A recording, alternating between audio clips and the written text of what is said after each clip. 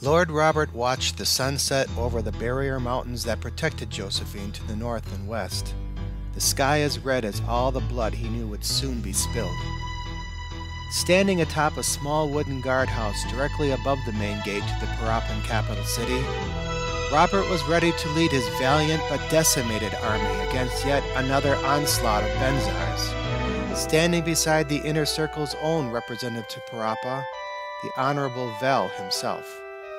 An angry wind, a harbinger of doom, rushed past Robert's graying hair as the Lord glanced upon the city entrance below, the area as silent and foreboding as any grave. Except for the dozens of huddled and exhausted soldiers standing ready to defend the tortured city below, not a soul could be seen, the town's inhabitants either hiding in their homes or fled altogether. The middle aged leader drew a heavy sigh and turned back toward the setting sun, watching it slip away like all the hopes and dreams he once possessed for the proud people of Josephine.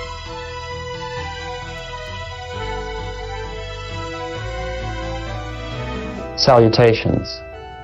I am Lord Robert, responsible for all of Parapa and its capital city, Josephine. There was a time when I held great pride in my duties, but that had long since passed.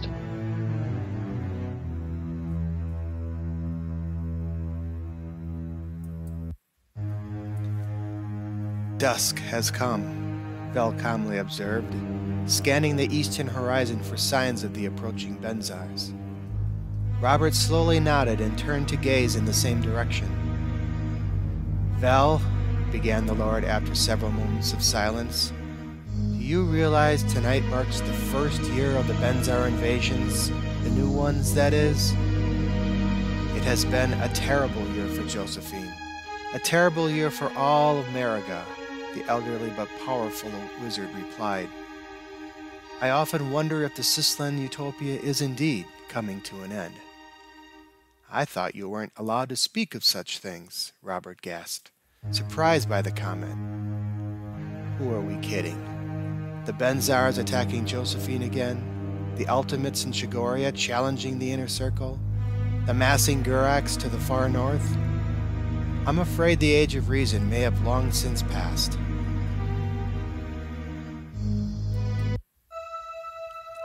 Robert simply stared at Val, shocked and discouraged by the opinion. The, po the political leader of Josephine had come to know Val as a wise and adept member of the Circle, a devout wizard who had given his entire life to the cause of Marigan justice, an icon of hope and optimism and honor. Wearing little except the simple white robes that marked him as a Circle representative, Vel's tight skin and thinning gray hair seemed pale in the approaching twilight, the many shadows lining his face not unlike the secret fears embedded in his tired heart. Such pessimism was not like Vel.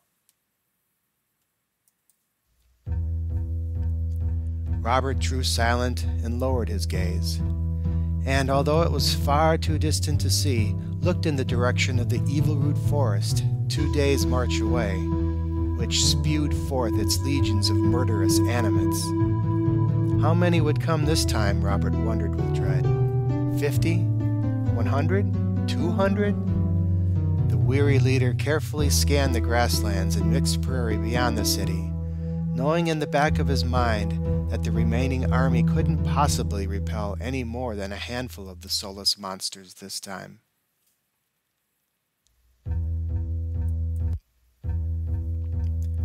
Robert lowered his gaze and looked upon the wide wall of vegetation encircling the city to his left and right, terminating at the massive wooden doors of the main gate immediately below. Although quite wide and protective, the massive plant colony that had placed that had been placed around the city had nevertheless been perforated several times recently by the Benzars, and not enough guards remained to completely protect and defend the vegetative wall. All Robert could do now was hope that the magical enchantment placed upon the living wall by the healer priests of the Sislan church two days earlier would help to repel the approaching Benzar armies. The Benzars! Here they come! A nearby soldier suddenly shouted, pointing out into the approaching darkness. In no time, Robert and Vel had spotted several dozen bands of monsters slowly approaching from the southeast, each group consisting of 20 or so of the mindless foes. Once ordinary human beings, the Benzars had had their very souls stripped from them and replaced with powerful but corrupt Magicka, transforming them into living robots without conscience or compassion. Worse, a tiny dot of red light emanated from each of them, a magical energy contained within the small bone daggers they wielded, capable of transforming those struck into Benzars themselves. The monsters had never before attacked so soon after sunset, and anticipation quickly turned to terror as Robert counted over 200 Benzars, the largest assemblage ever to attack the desperate city. The guards below began shouting various commands to each other in preparation for the attack, well rehearsed procedures to repel the invading monsters, while bellowing noises from specially carved animal horns wailed their warning of the impending attack throughout the city.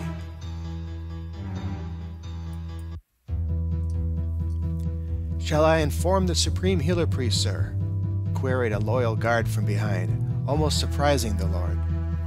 Stunned by the tremendous army beyond, many moments passed before Redfern, or before Robert found the words to even respond. There's hundreds of them. Tell Gep tell Gepen Nor only the Shard can save us this time. Go! The soldier nodded and leaped for the ladder leading down and away, his army of carefully assembled slats of petrified wood making little noise as he descended. Dressed in stone battle armor himself and covered by thick furs, the heavy weight of the metamorphic rock nullified by powerful Magicka. Robert slowly drew his massive doom sword and turned to Vel, the brave and heroic adventurer never more afraid in his entire life. Member Vel, raise the defenses! Vel nodded and scanned the approaching army one last time, his own immense concern plainly etched across his beaten face. The powerful wizard closed his eyes and drew a deep breath, so deep that it hurt, and began to concentrate upon the vegetation encircling the city, visualizing the massive organism in his mind as he channeled the living Magicka around him and through the very core of his being once again opening the channel, the energy of all living things quickly poured through his soul, gathering focus and direction, wild but under the control of a strong heart and convictions of sincere desire. The vigil, our last great defense. It's up to me to make it come alive. Must summon as much magic as I can. The Benzars must not be allowed into the city.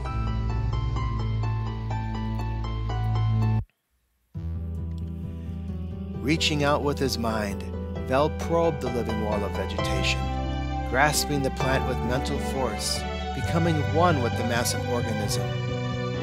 Although the living wall possessed no will of its own, Vel provided temporary consciousness to it, slowly releasing his accumulated magical energy into and through the plant, and causing the vegetation to absorb a primitive sentience. Within moments, the individual ramets of the great organism began to slowly move and twist, alive with Vel's powerful spell, and prepared themselves for the oncoming Benzars, the plant appendages now aware of their surroundings and protective purpose.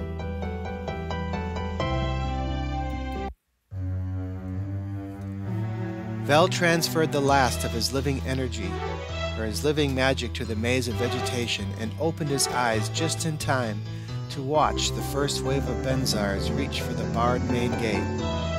Immediately, dozens of thick, thorny branches and tendrils reached out for the animate monsters, silently grabbing hold of them and penetrating, preventing their penetration of the city. Unaware of the living force that was now stopping them from their programmed mission, the terrible monsters hacked at the fronds of the plant. but Vel's magic finished off several of the soulless animates, the vegetation crushing them with incredible force.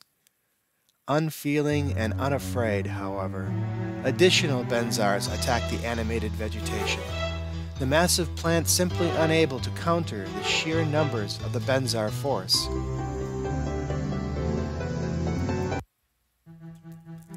A sudden whining noise, quickly gaining in pitch, stole Robert's attention, and he looked up to see an approaching ball of fire.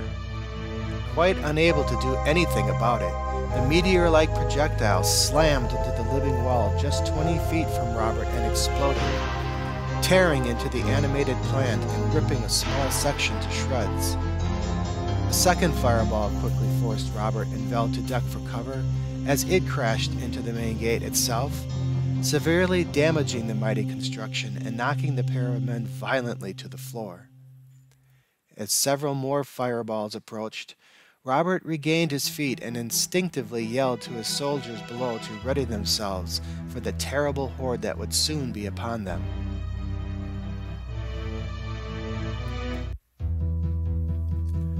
Robert then looked into the distance and spotted the familiar ghostly light everyone had come to call the Angel of Death.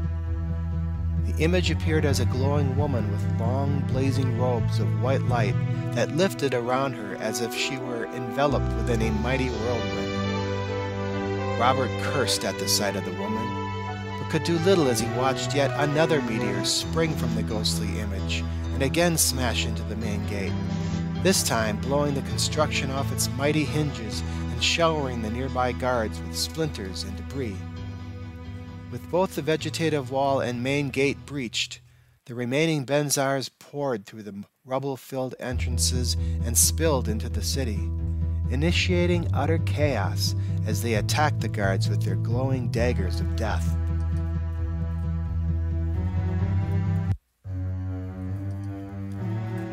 Robert leaped down from the guardhouse with his mighty doom sword and began hacking and slashing like the genuine hero he was fighting as if the entire universe was at stake. Seeing this, the Josephine soldiers rallied around their brave lord, the least lucky of the defenders laying down their lives in defense of the city they loved.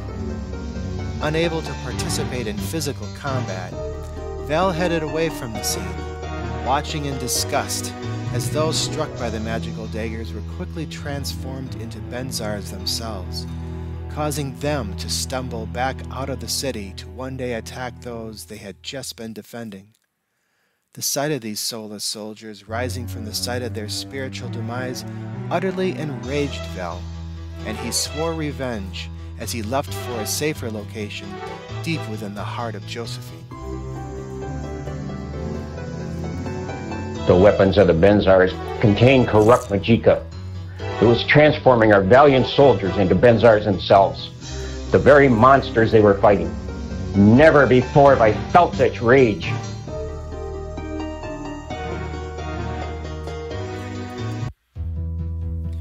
For the next hour, the soldiers fought valiantly, holding their position and keeping the Benzar reinforcements from driving through.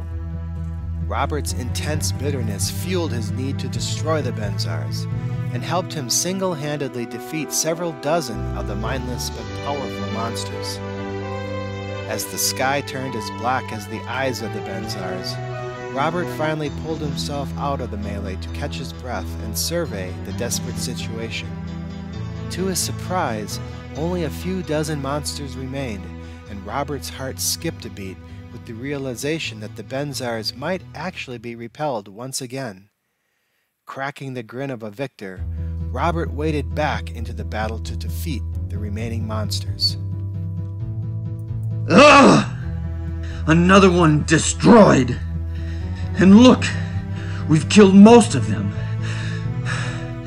Sisla, be my witness. We have the upper hand. Yes, yes, we will drive them off yet again.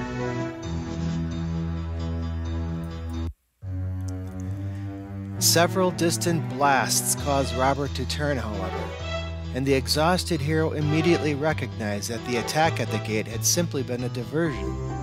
the whole of the Benzar army was penetrating the city's defenses from the north. Robert's momentary glee washed away in anger and terror as he ordered his soldiers to continue the immediate fight, turning to rush for what he knew had to be the Benzar's true target, the Sislin Church. Leaving the chaos behind, Robert leaped for the cobbled path leading away from the main gate and bolted away into the city, desperate to reach the church before the newest Benzar threat.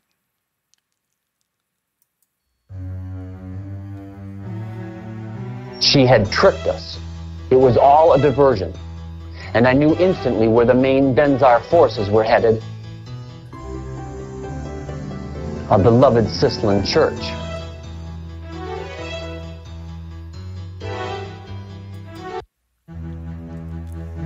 The grand capital of Josephine had been constructed centuries ago in a nearly perfect circle and carved entirely out of the surrounding metamorphic rock its various buildings now rising from the floor of the city as shadowy spires in the virtual darkness. Finally spotting the magenta light that spilled from the central area of the city ahead, the frantic lord slowed his pace a bit, concerned that each dark corner potentially concealed a small army of the soulless animates. Yet Robert reached the central area of the capital city without a single encounter and his eyes soon adjusted to the neon like radiance that dominated the governmental section of the city.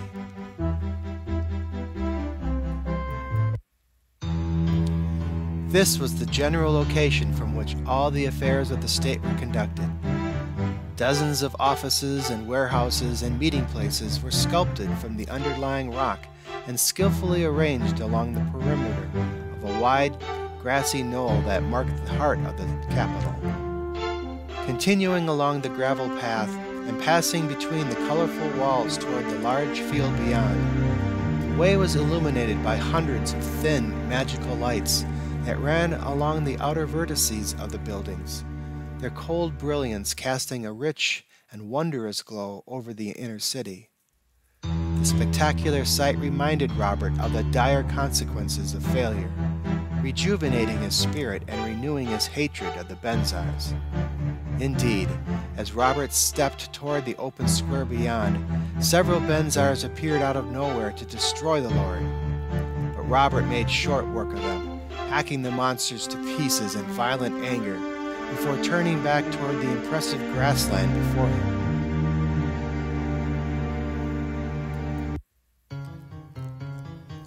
Entering the vast square, Lord Robert quickly fixed his gaze upon the two most important structures within the capital the Parapan Tower to his right and the glorious Sislin Church to his left, both iconic remnants of a time when Mariga was genuinely peaceful and the Sislin Utopia was at its zenith.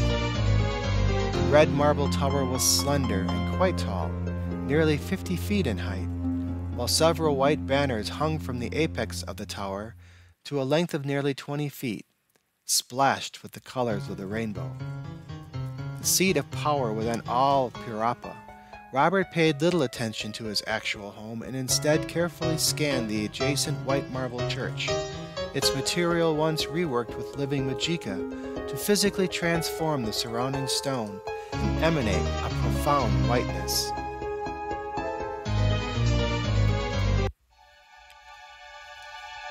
The beautiful construction glowed with a soft inner light, a countenance of supreme peace and tranquility, and the front consisted mostly of a stone stairway that rose nearly 20 feet before terminating at the base of a wide platform that led to several massive doors 10 feet beyond. Standing atop the platform defending the glorious structure was a line of healer priests, each dressed in the colorful robes of their faith and Robert breathed a heavy sigh of relief that the church had not yet been attacked. After glancing about for signs of the marauding Benzars again, Robert stepped forward in the direction of the church, about to join the healer priests in the defense of the holy institution.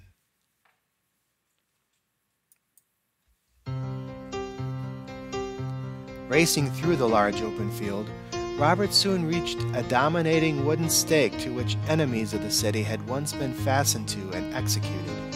A practice he had put a stop to after coming to power two years ago. Robert looked at the appalling structure and recalled the execution of Sandras, the former lord of the city who was responsible for the original Benzar invasions against Josephine and was subsequently burned at the stake for her crimes. Indeed, the death of Sandras had freed Josephine from her blasphemous agenda and allowed the Sislin Church to appoint Robert as Parapa's new leader, even without consent of the inner circle. Though Robert still wasn't sure of all the facts, he understood that Sandras had been an enemy of the Sislin Utopia, even though she was a circle representative, and he felt little pity for his predecessor as he passed by the horrible sight.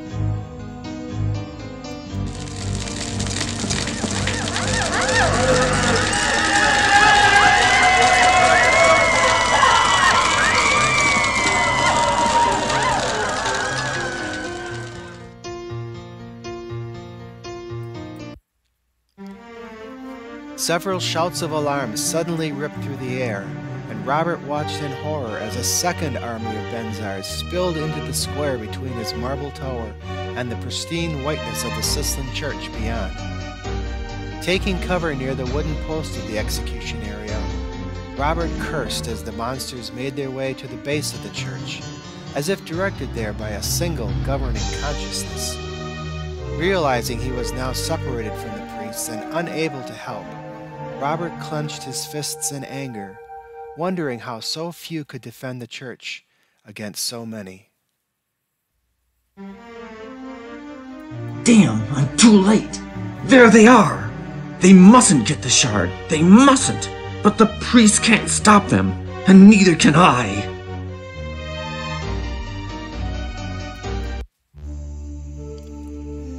As the Benzar horde surged forward, the healer priests continued to hold their ground, taking each other's hands in prayer as the animate crowd below swelled into the hundreds. The five priests then reached for small stony talismans hanging about their necks, doing so with the calculated precision of a crack military unit.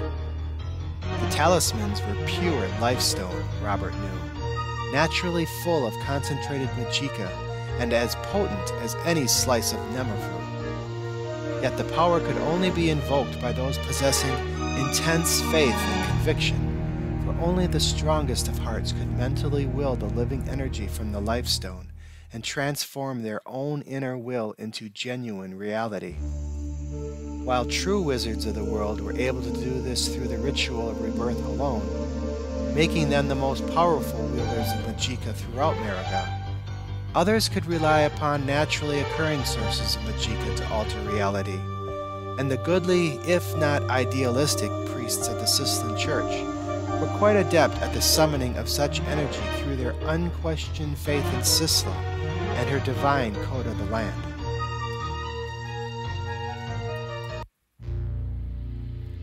The process of tapping the living Magicka contained within the Life Stones took time, however and Robert watched with fearful anticipation as the hideous monsters reached the top of the stairway, about to destroy the healer priests with their spikes of death.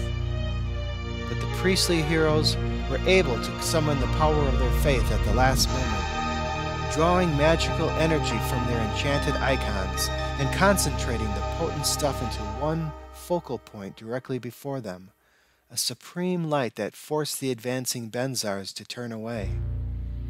The sphere of power then exploded, blasting the horde of Benzars with holy light and ripping through the closer monsters like a tidal wave of fire.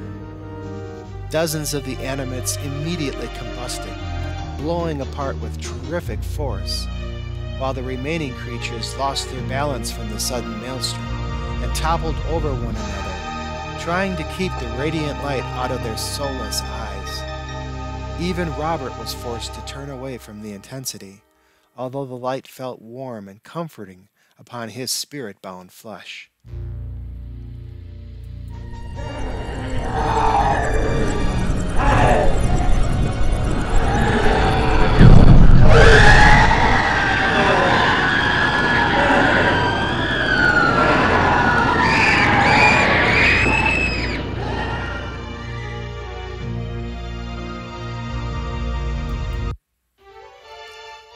Moments later, the spell ended, and Robert slowly turned back to watch the exhausted healer priests let go of their talismans, quite fatigued by the magical summoning.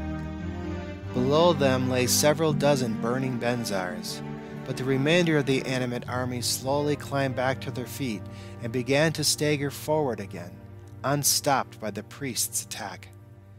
Indeed, Robert could only curse again with the realization that the clergymen had only temporarily succeeded in the defense of their sacred temple, and that only moments remained before the Benzars would recover from the blast to assault the church once again.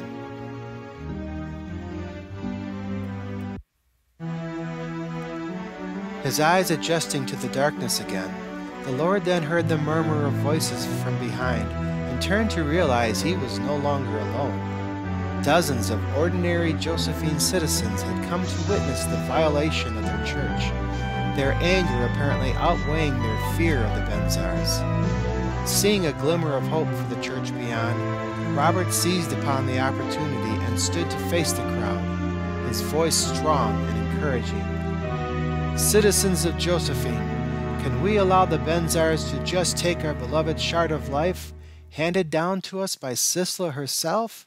began the Lord, his eyes begging for help.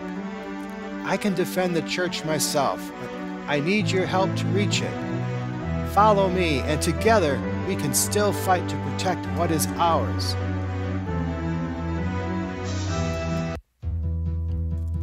With a thunderous roar, the crowd surged forward and quickly engaged the surprised army, fighting with whatever household tools and instruments they happened to be carrying.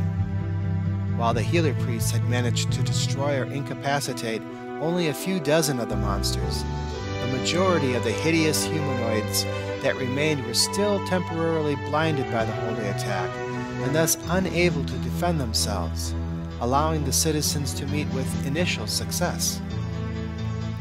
Robert then hacked his way through the horde of monsters and raced up the marble steps of the Sislan church. Reaching the line of delighted healer priests moments later, Benzar blood running down his massive doom sword and collecting near his muddied feet. Glancing back to view his fellow townsmen bravely defending the church, Robert ordered the tired priests to protect the entrance to the grand construction at all costs before stepping through one of its richly carved double doors, intent upon finding the supreme healer priest somewhere inside.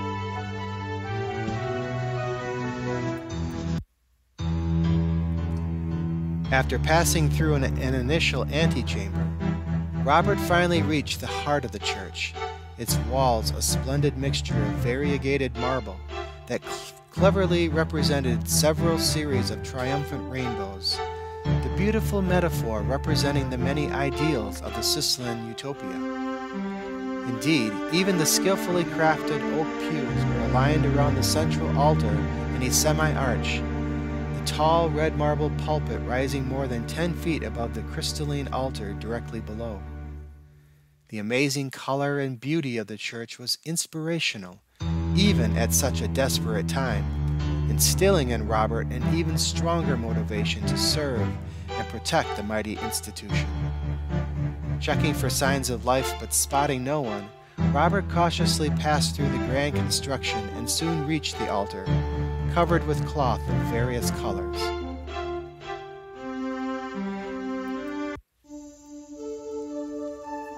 Hearing a noise and whirling around, the Lord watched as Gepen Nor stepped into the temple from the opposite end moving with the deliberate slowness of one possessing a great deal of weight. Though dressed in the colors and fine fabric of the church, the clothes were becoming tight around Nor's bulging frame, and the lifestone talisman that hung from his neck seemed to nearly strangle the overweight cleric. Although mocking and even rude at times, Gepen Nor was still the supreme healer priest of Parapa, and Robert had come to know him as an extremely dedicated holy man an absolute defender of the code, though possessing such convictions as to even defy the inner circle at times.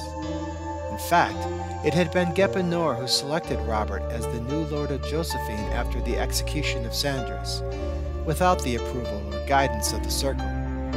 But Robert felt completely confident of the priest's abilities, someone he could trust and defend with his very life. I am Gepen Nor, Supreme Healer Priest of the Sislan Church and Grand Protector of all Parapan souls.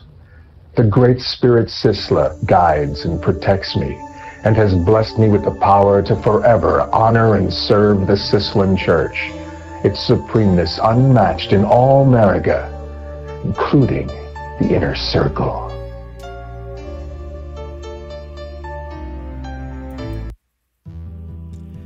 Nearly out of breath from his descent into the glorious chamber, Gepen Nor hacked and wheezed several times before finding enough air to communicate.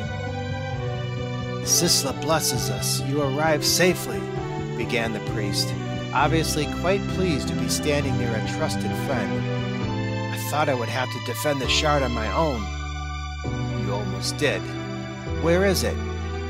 The Supreme Healer Priest was already holding the religious artifact and showed the priceless gem to Robert, the holy object appearing as a thick icicle nearly two feet long and softly glowing with an inner yellow light. Robert had seen the shard many times before, but was always impressed with the artifact and again smiled, the object radiating enough magicka to warm his exposed skin and cause him to slightly tingle.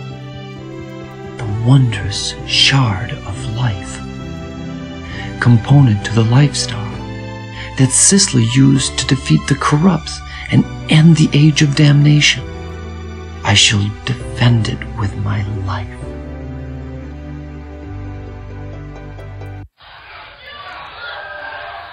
How many are there this time? Gepen asked, his nervousness beginning to show.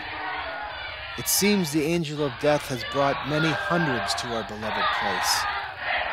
They destroyed the main gate, broke into the city just north of here, and only Sisla knows where else, Robert replied, looking out a nearby window.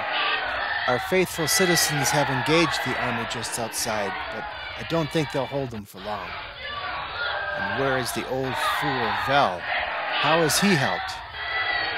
Having long since recognized the animosity between Vel and Gepen something he would never understand, Robert again was forced to choose his words carefully. Vel has served us well, Supremo. I'm sure he is providing his assistance somewhere within the city. He's probably hiding in terror somewhere, Nor responded, his disgust for the man quite apparent. It's up to us now, I fear.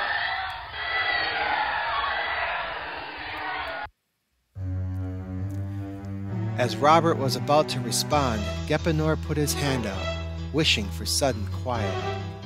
Listening carefully, the two leaders could hear cries of terror from the defeated townspeople outside, and they recognized that the dreaded monsters would soon come rushing through the church doors beyond.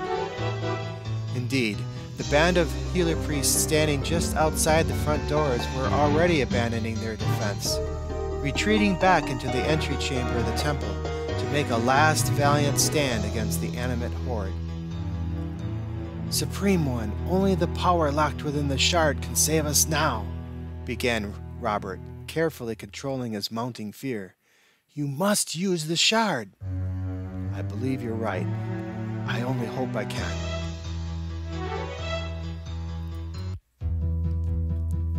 Robert cocked his head, surprised by the comment. Gepen had said that if the attacks continued, he would one day need to invoke the power of the shard himself, even at the risk of his own life.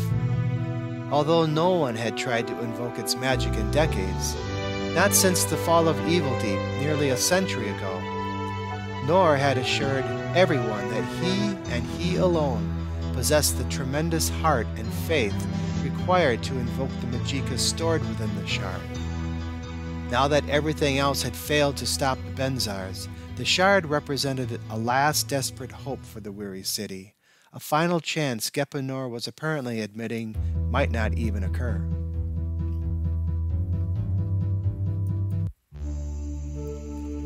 Frustrated by the revelation, Robert turned to address the issue, only to be halted by a sudden attack at the church doors beyond. As the line of healer priests positioned themselves within the entry chamber of the Sislin Temple, Robert glanced back to Gepen Nor, the cleric's hands securely around the shard as he prepared to draw forth its tremendous power. His own doom sword ready for further action, Robert turned back toward the large doors as the unstoppable force outside quickly smashed through and invaded the antechamber of the church. Once again, the colorful priests invoked the power of their talismans, controlling the summoned Magicka with their own practiced spirituality. Tired from the expenditure of holy energy minutes ago outside the temple, however, this time the blast of radiant light barely slowed the dreaded monsters, and they soon pushed past the terrified clerics, slaughtering the slower men and chasing the rest away.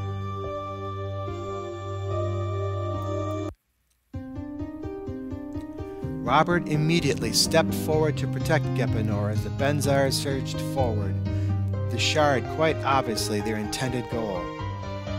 Please, Supreme One, Robert demanded, their time now very short. It's now or never. Deep in concentration and nearly oblivious of the approaching monsters, Gepen Nor continued to summon the power within the shard, relying upon his own sense of inner faith and social conviction to tap the tremendous Magicka locked within. To aid him, Gepen Nor recalled the legends of Sisla, the human woman who became the first true wizard of Marigan and ultimately defeated the Gurax to end the millennium-long Age of Damnation. For her liberation of the human race and development of the Sislin utopia, Sisla became a goddess after her mortal death, to be forever loved and worshipped, and Gepen Nor drew additional strength from the many accomplishments made by the Sislin Church through the centuries as well. The power of the shard. I'm almost there, almost invoked. I shall save the people of Josephine, and without the help of the cursed circle.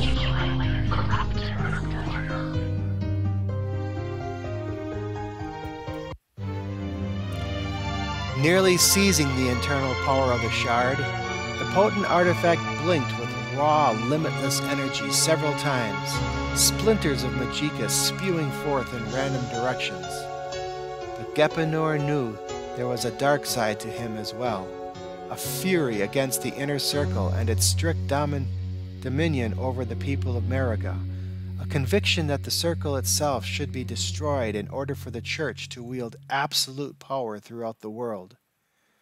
Within a small but substantial portion of the priest's heart lay bitterness and contempt, even the seeds of evil, a haunting Nor had been hoping would not prevent his invocation of the shard. But the power did not come, would not flow from artifact to intellect. And Gepen Nor slowly realized that all was indeed lost, and that he would now have to pay the ultimate penalty for his past hypocritical transgressions.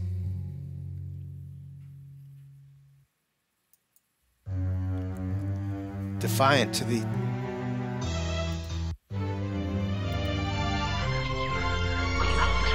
Come through me, all powerful shard. Help me to help this land. No, it's not working. Please, please, spirits of the shard, pour through me. I am great enough for your power.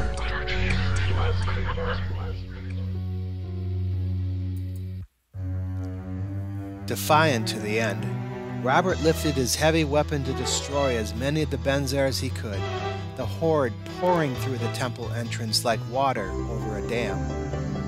A sharp crackling then filled the church, a splintering of the air so powerful that it nearly deafened the valiant lord. And the hero watched in disbelief as a solid wall of ice materialized between himself and the advancing monsters, forming an impenetrable barrier just in time to prevent the Lord's demise. Turning with sudden glee in anticipation of Gepen Nor's successful tapping of the shard, Robert instead found the inner circle representative Vel standing in the doorway, the terrible pain of casting such a potent spell still etched across his wrinkled brow. The wizard let go of his captured breath and forced open his stinging eyes, then glanced in the direction of the wall of ice that spanned the width of the entire chamber, nearly a foot thick in some places. Well done, Member Vel, Robert cried, his life momentarily spared. I'd almost given up. Stepping into the besieged temple, Vel turned away from the wall of ice as he reached Robert and Gepen Nor, the priest offering little more than a sneer in thanks for the miraculous protection. Quite accustomed to this behavior, Vel ignored Gepen Nor and addressed Robert with concerned calm. We're completely surrounded, Lord Robert. The Angel of Death has directed her forces well. The Supreme Healer Priest is about to invoke the Shard if, if we can give him enough time, Robert responded, not realizing that Nor's attempt had already failed. But I need more silence, please, Gepen Nor roared, about to repeat the ritual. Hearing a strange noise from beyond, Vel turned to notice the Benzars already chipping their way through the wall of ice 20 feet away, a barrier he had hoped to be impenetrable. Robert noticed the concerned effort of the monsters as well, and was quite surprised by the organizational skills of the unthinking creatures. At this rate, they'll be through in no time, I couldn't believe it. They were chipping through the ice. Understand, Benzars can't think for themselves. So the angel of death must have somehow been controlling them, even within the church.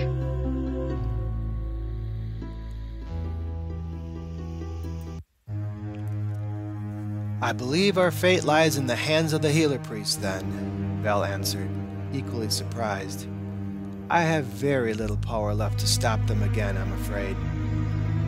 His entire consciousness directed toward the shard of life again, the Supreme Healer Priest continued his intense concentration, reaching deep into his inner soul to ignite the potentially limitless Magicka locked within the artifact and release the living power within. But the cancer of corruption that lay buried within Nor's subconscious, his hatred for the inner circle, and thirst for ultimate power through the church effectively prevented the shard from surrendering its awesome and untainted power. Watching the pathetic attempt fail, all Vel could do was shake his head, disappointed but not at all surprised. I'm afraid the healer priest hasn't the faith to utilize the power of the shard, Vel finally whispered, breaking the silence. How dare you! cried Gepen Nor, opening his eyes a second time in embarrassment and utter frustration. My faith in the Sislin Church is second to none. Perhaps, Vel calmly replied. The Benzar is about to break through the icy wall beyond, but the shard requires the faith of the pure, the honor of the righteous, the heart of the altruistic. As I've always said, Healer Priest, you lack these qualities and have become the very thing the Sislin Church was formed to defeat. Sheer hatred exploded from Gepen Nor, and in his sudden fury, Nor screamed several terrible words, words not to be spoken by anyone, especially a healer priest.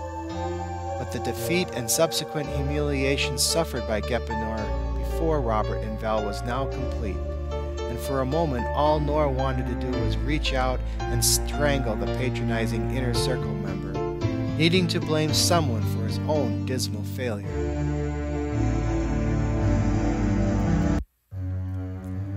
The crash of breaking ice quickly brought Nor back to reality, however, and the three Josephine officials turned to watch as the Benzars finally smashed through the magical wall to continue their undying pursuit of the shard.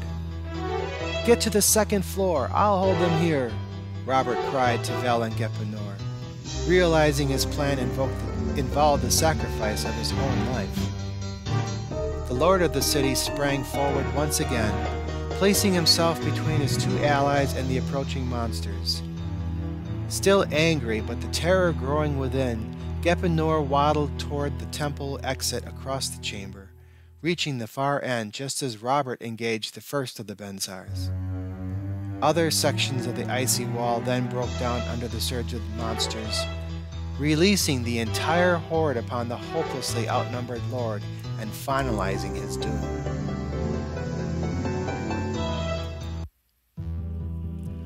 Unwilling to allow Robert to sacrifice himself, however, Vel bravely stood his own ground and began to summon as much Magicka as he could, his body nearly wrecked from the recent summoning of living power through his reborn mind. As the tidal wave of Benzar surged forward to inundate Robert, Vel focused what little Magicka he was able to summon upon a final transformation, throwing himself forward and upon Lord Robert. Flesh instantly became stone, and within an instant Vel had polymorphed them both into a single statue, an impenetrable material the Benzars could not hope to damage. The transformation naturally caused Robert and Vel to pass into unconsciousness, but the two were rendered quite safe, Vel's life-sustaining Magicka keeping the glowing daggers of the monsters from destroying the two valiant heroes.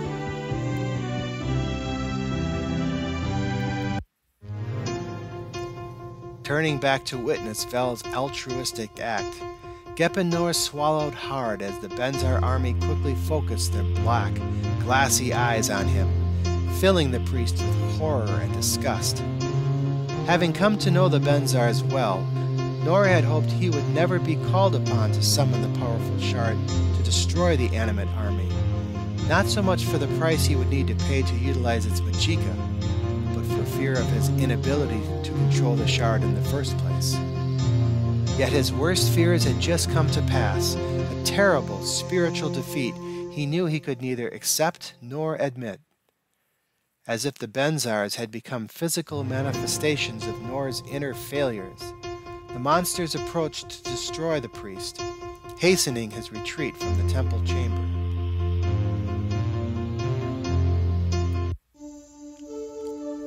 The healer priest was stunned, however, as he found another small army of monsters beginning to spill through the doorway entered by Vel just moments later. Trapped within the temple, Nor stumbled back to the stone pulpit, climbing its brief stairway as the Benzars fully encircled him from below. Reaching the platform where priests normally go to deliver their messages of courage and faith, all Gepen Nor could feel was fear and hopelessness, and he began to weep with frustration and humility, begging for Sisla to somehow materialize and help the pathetic priest. Nor cried out several times for the horrid monsters to leave. But the Benzars methodically continued their pursuit of Nor, climbing the stairway as well and reaching to within a few feet of the defenseless man.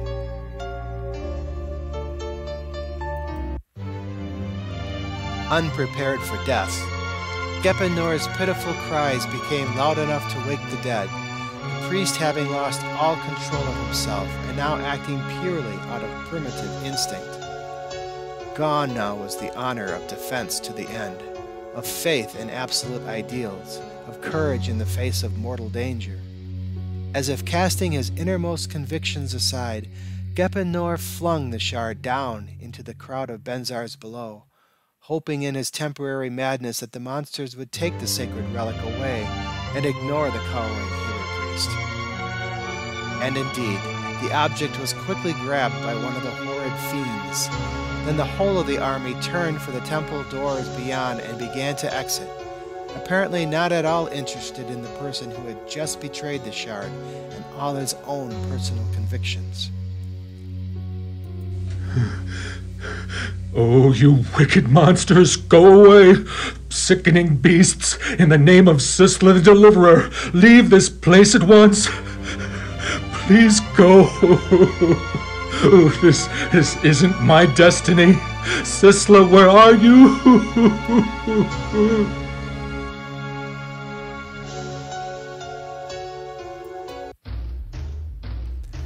Their mission complete, the army of Benzars slowly followed the shard out of the church and into the streets beyond, Gepen Nor watching in dishonor and self-pity from the pulpit above. As the last of the terrible monsters staggered from the church, Nor, Nor cautiously stepped down and crept toward an open window 20 feet away, peering out into the city beyond. Before him lay terrible destruction, as several dozen buildings had been damaged or destroyed. Bodies littered the streets, and mass chaos reigned within the devastated capital. The Benzar army marched unchallenged past Lord Robert's great red marble tower, carrying the shard away from the church and its people who were unable to utilize its immense power.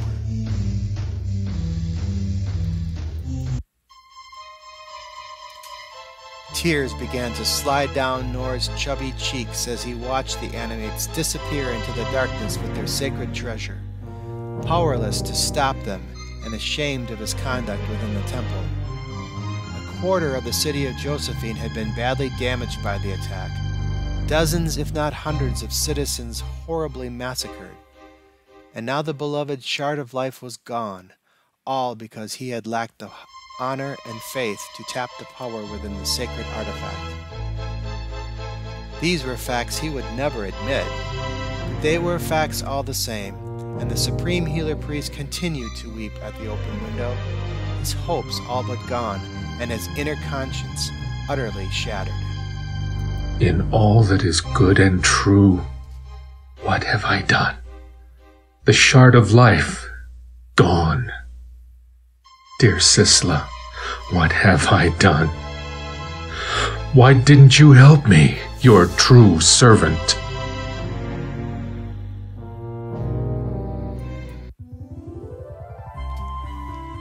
The day had begun like most others since Redfern's departure from Mount Rebirth, warm and dry and certainly not uncomfortable.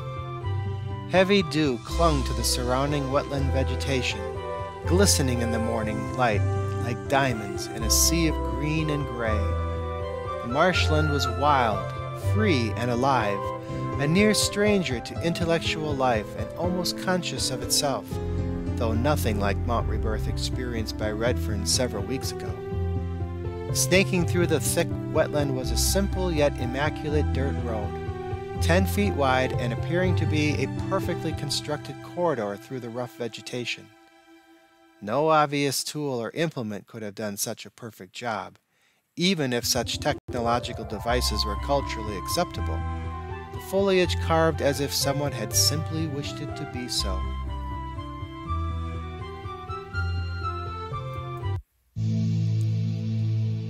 The passage through the wetland just northeast of Josephine was the most dangerous part of the trip home, Redfern remembered. Its branches, vines, and roots said to be capable of capturing the unwary even while upon the magically hewn passage. Indeed, strange shadows knifed their way about the pilgrim from the trees above, their branches appearing as skeletal hands reaching out in twisted confusion. Slivers of penetrating light gave the further appearance that the place was haunted, and soon Redfern was consciously trying to stay away from the edges of the path. But the young hero was now full of living Magicka, his rebirth at the Valley of Destiny complete, and he possessed all the confidence in the world that his newfound power would protect him within this dreary place.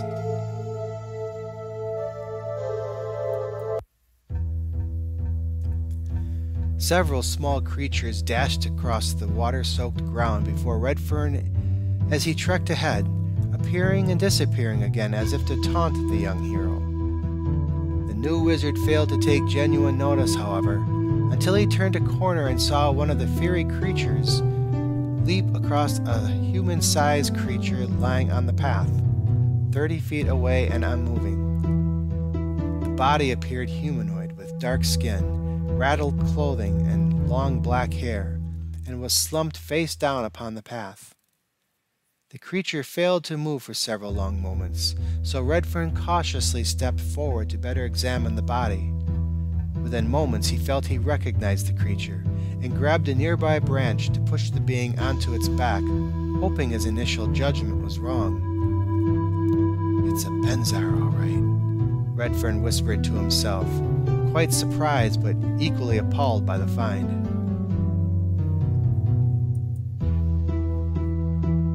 It was a Benzar, all right. Vile creatures. They were a terrible problem for Josephine just a few years ago. But they were eradicated, along with their creator Sandras, just before Father and I left for Chikoria about a year ago. Oh, terrible monsters, Benzars.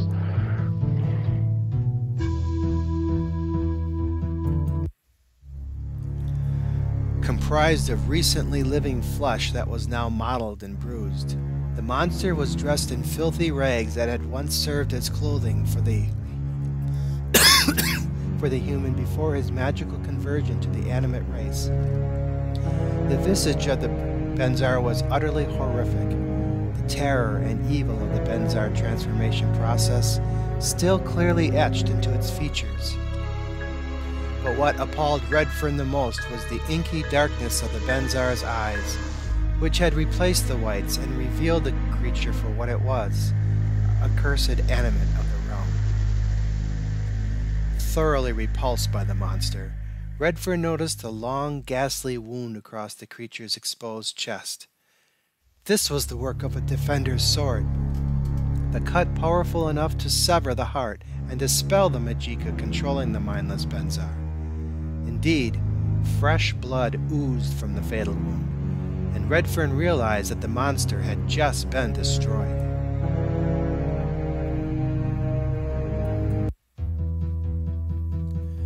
A distant shout suddenly ripped through the marshland, a human sounding cry, more of surprise than anything else.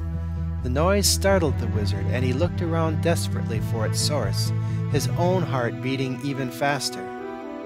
Scanning a relatively small clearing hundreds of feet beyond, and in the direction of the voice. Tense moments passed before Redfern noticed several dark and distant shapes moving slowly through the vegetation.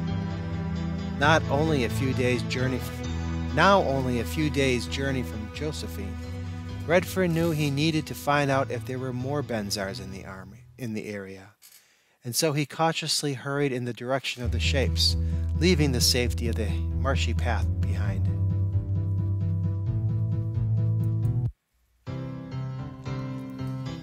Quickly moving across the spongy ground, the wizard carefully avoided the obvious pitfalls of the area, including the larger plants capable of entangling and even consuming him if he were careless. Redfern soon reached the far edge of the clearing beyond and stopped, peering past the trees and into the clearing ahead. Sipping in short, rapid breaths to minimize the noise, Redfern observed more humanoid creatures slowly crossing the clearing, itself nearly 100 feet in diameter and almost completely encircled by dozens of moss covered conifers. Off to the right was a wide, shallow creek, passed over by an old and rotting wooden bridge just above the river's smooth surface. Nearly 20 feet long, the bridge appeared unoccupied, but the creatures were certainly moving toward it.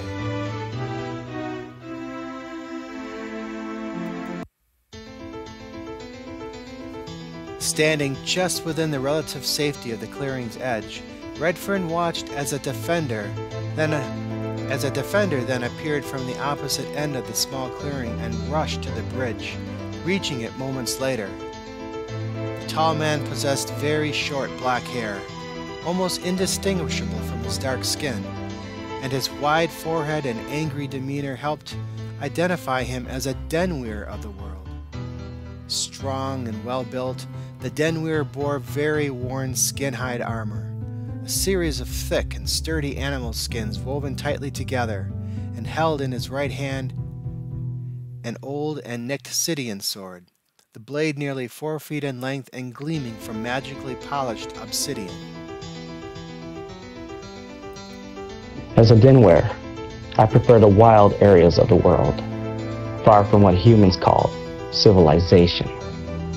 But on the road beyond, I was attacked by a dozen Benzars and forced to fight for my life.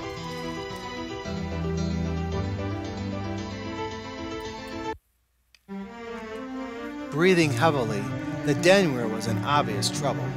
Redfern spotted half a dozen Benzars pursuing the Denweir from behind, while the three in the foreground were already beginning to cross the bridge. Trapped, the Denweir valiantly readied his blade as the Benzars rushed to attack. Redfern had never encountered a Denwyr before, their race preferring the more desolate lands of Marigan. They made for excellent defenders, the wizard knew, warriors who used their deadly combat skills only for defensive purposes. Yet this Denwyr had little chance against such powerful adversaries, and Redfern knew the Dark Hero beyond was doomed without help. A Denwyr? Here in Parapa? Strange. Denwyrs, a human sister race, physically stronger, but not as disciplined, and proud, very proud. He won't want my help, but he needs me, and now.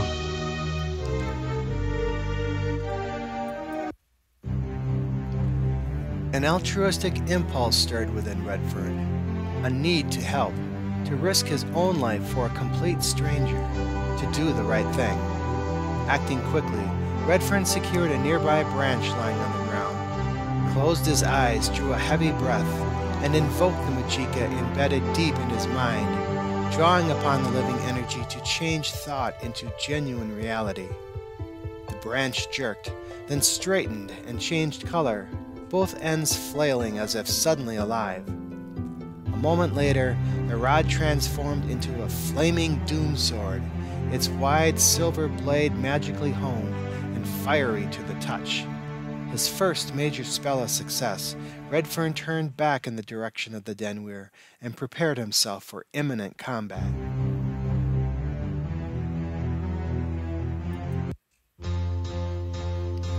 The Denwyr proved to be an expert defender.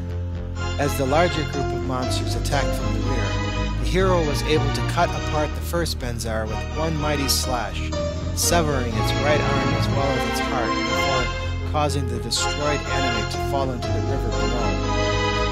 Armed with the mind-destroying daggers, several of the remaining monsters lunged at the Denwyr, each of them missing their target by well-timed parries and maneuvers. The Dark Hero seized the opportunity and impaled a second Benzar through the chest, destroying the mindless monster as it fell to its feet.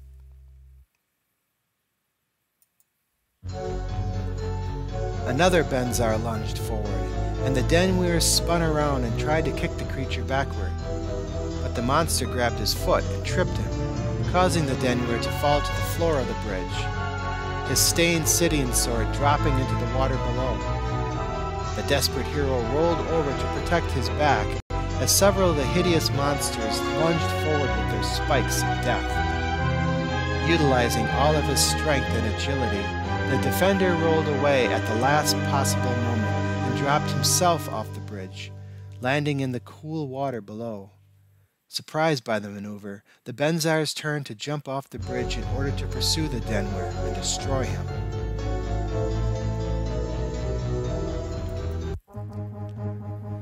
The water was two feet deep and crystal clear.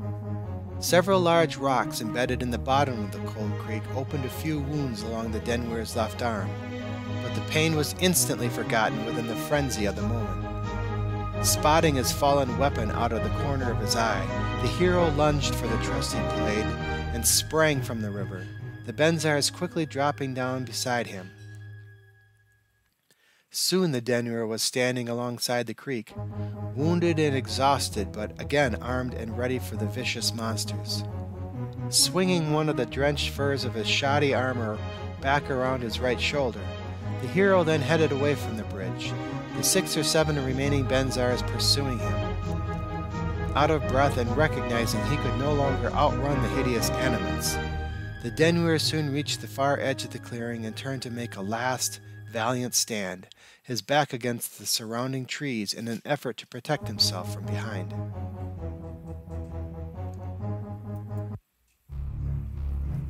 The remaining monsters approached, encircling the brave defender and removing any chance for escape. The first Benzar lunged, and the Denwyr put all his strength into one massive blow, hacking the monster nearly in two and dropping it to the ground immediately. After kicking a second monster backward, the hero used his elbow to viciously smash a third Benzar in the face, breaking its nose and sending fresh blood splattering everywhere. An unseen Benzar hiding until now, then appeared from behind the trees that were protecting the hero, throwing a ragged arm around the Denweir's neck and engaging him in a punishing headlock. The stranglehold was strong and painful, and the tired hero vainly struggled against the tight grip, recognizing his immediate doom if he didn't immediately escape.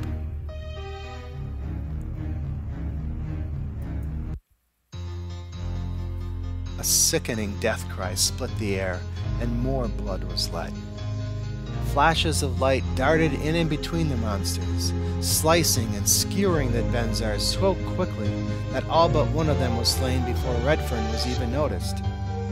Moments later, the remains of the creatures lay at the feet of the wizard, allowing the eyes of the human and Denweir to meet for the very first time. Certainly thankful for the help, but not wanting to appear inferior, the Denweir summoned the last of his remaining strength and flipped the remaining Benzar up and over himself, landing the monster atop his slain brethren.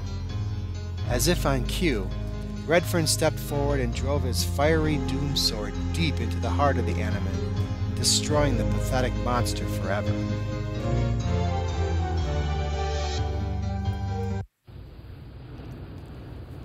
A stiff morning wind blew past the heroes, chilling the Denweir who continued to gasp for air. Though wounded by the vicious attack, the defender was nonetheless quite lucky to be alive and fixed his gaze upon the human who had just saved him. Are you all right? Redfern finally asked, still holding his magical blade at his side. I've had worse, came the Denweir's exhausted and accented reply as he sheathed his faithful weapon and examined his new wounds. You're lucky I came along. The Denweir only nodded in recognition of Redfern, withdrawing several clean bandages from inside his worn skin hide armor to dress the wounds on his arm. A human. But not from these parts, it seems. I do owe him my life. But what does he want in return? I am sure I can't trust him. I better be careful.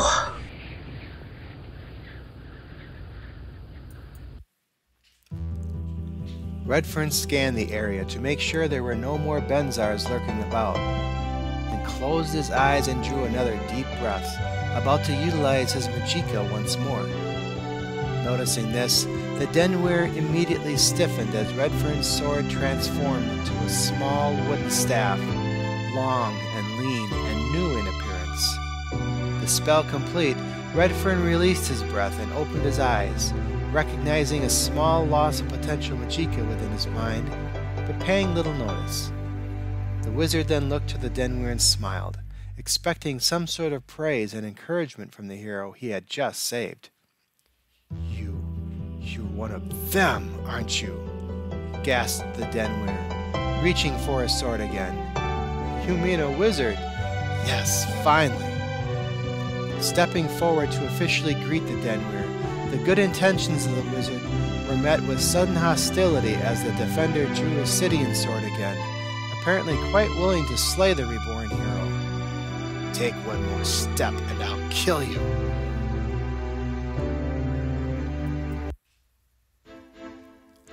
Stunned by the reaction, Redfern nonetheless recognized the hatred and fear in the stranger's eyes and instinctively halted, taking the def defender's warning seriously. That's a fine attitude to take, seeing I just saved your life. Doesn't mean I won't kill you.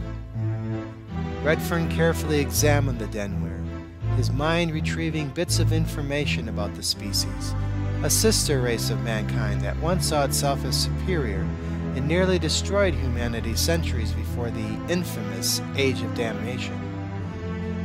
The Denweirs were ultimately defeated after the humans discovered Magicka, however, and forced into disgraceful slavery for nearly a century, time of servitude.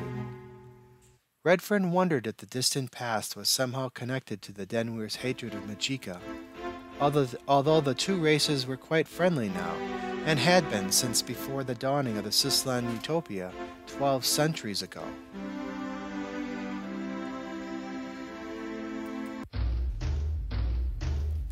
remembering the slain monsters, Redfern bent down to better examine one. Although the monster was indeed horrid, the wizard couldn't help but feel pity for a living creature who had had its very soul magically torn away and its body transformed into such a hideous disgrace. The Benzar was the antithesis of life, a cruel mockery of the code, a physical rep representation of eternal wandering, mindless sorrow, and utter hopelessness. Redfern secretly cursed whoever or whatever was responsible for the generation of such pathetic beings. These Benzars here, Redfern said after a moment, carefully trying to downplay his role as a wizard of Marigan. Are they loose within Parapa again? No! Benzars.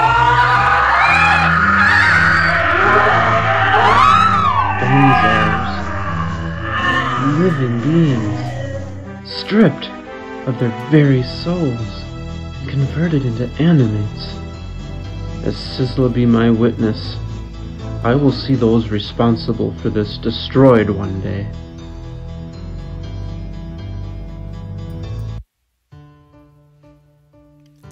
Loose, the Denweir sneered, surprised by the ignorance of the question. An army of them just attacked Josephine again last night.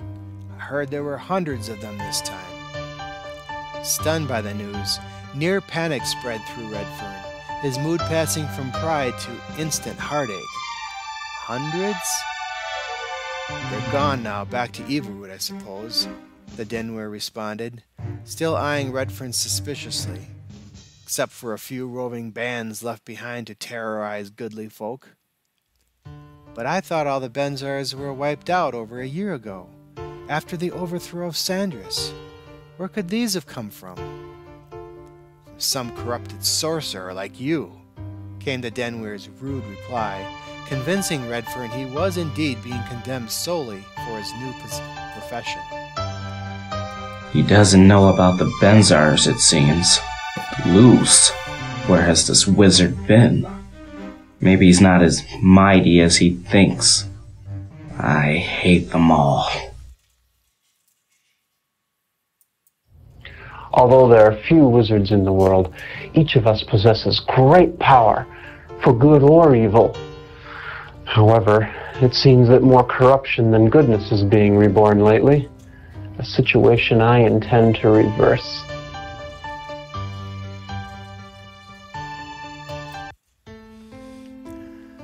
Wizard rose to face the defender again, a hint of both bravery and arrogance in his youthful eyes. So that's it. You're afraid of Magicka, said Redfern, as if to challenge the Denweir. I'm not afraid of you. Then why are you shaking? Sure enough, the mighty Denweir was now quivering in the coolness of the marsh, facing Redfern as if he were his executioner.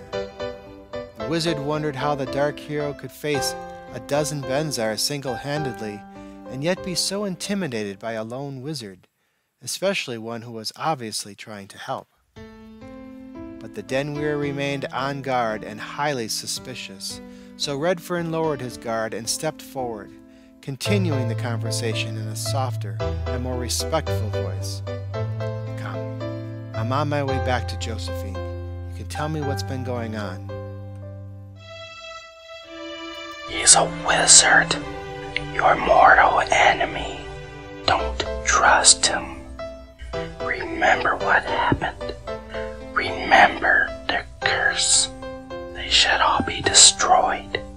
Don't trust him.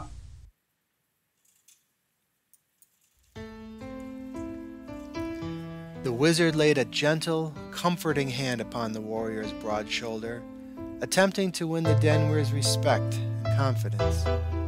Sudden fury enveloped the Denweir, however, before Redfern could even react, he was viciously struck across the face and sent to the ground nearly unconscious, falling alongside the pile of slain Benzars. The Denweir bit his lip, perhaps a bit remorseful for the sudden strike, and then stepped to the fallen wizard with a combination of anger and awkward embarrassment. Be thankful, the Denweir quietly spat. You're only the second wizard ever to touch me and live. Damn wizard. He has no idea what I've gone through, what I'm going through. All because of Magicka. It makes me want to kill him. Yes, his kind should all be destroyed.